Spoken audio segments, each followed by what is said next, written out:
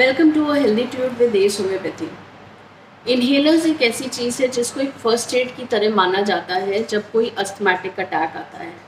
लेकिन क्या ये बात आप जानते हैं कि इन्हेलर्स जानलेवा भी हो सकते हैं?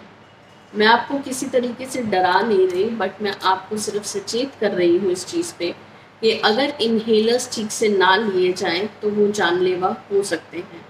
इन्हेलर्स लेते वक्त आपको बहुत चीज़ों का ध्यान रखना ज़रूरी है कि अगर आप स्पेसर यूज़ कर रहे हैं तो आपको स्पेसर कब यूज़ करना है, उसमें मेडिसिन कब डालनी है और उसको कब आपने इनहेल करना है।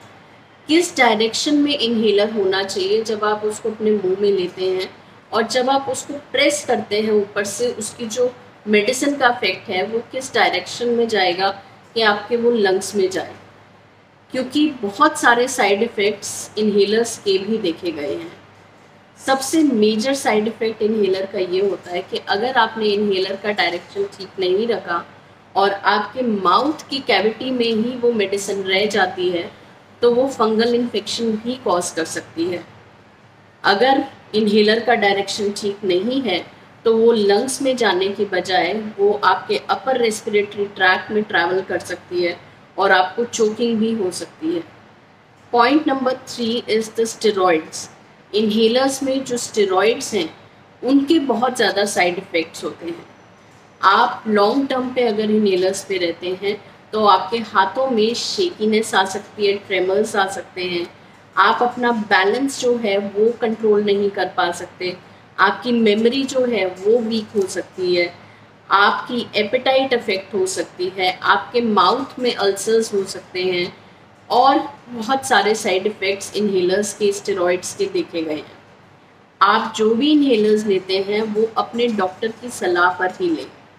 मैं आपके साथ एक बहुत इंपॉर्टेंट न्यूज़ बहुत ही रिलायबल सोर्स से आपके साथ शेयर कर रही हूँ, जिसका लिंक जो है हमारे डिस्क्रिप्शन बॉक्स में होगा। अस्थमा से इंडिया में more than one lakh deaths होती हैं एवरी ईयर ये फिगर कोई छोटा फिगर नहीं है. एंड इसका सबसे मेन रीज़न ये है कि अस्थमेटिक अटैक वालों को टाइम से मेडिकेशन या ट्रीटमेंट नहीं मिल पाता. मैं आप सबको ये रिक्वेस्ट करना चाहती हूँ कि अगर किसी को अस्थमेटिक अटैक होता है या अगर आप अपने फ्रेंड सर्कल में ऑफ़िस में कलीग्स में किसी को भी देखते हैं कि उनको अस्थमेटिक अटैक हुआ है तो उनको इमीजिएटली मेडिकल ट्रीटमेंट प्रोवाइड करने के लिए लेके जाएँ। क्योंकि अगर थोड़ी सी भी देर हो गई तो वो देर जानलेवा हो सकती है। होम्योपैथी में बहुत अच्छा ट्रीटमेंट है। हम आपके एलोपैथिक मेडिसिन को स्टॉप नहीं करते इमीजिएटली इन्हेलर्स को स्टॉप नहीं करते।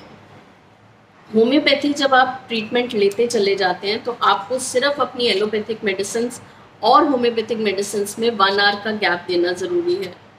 वो अपना एक्शन करती रहेगी और होम्योपैथिक मेडिसिन अपना एक्शन करेगी। और होम्योपैथिक कभी भी इंटरफेयर नहीं करती किसी भी मेडिसिन इन्हेलर्स या स्टीम इनहेलेशन के एक्शन में।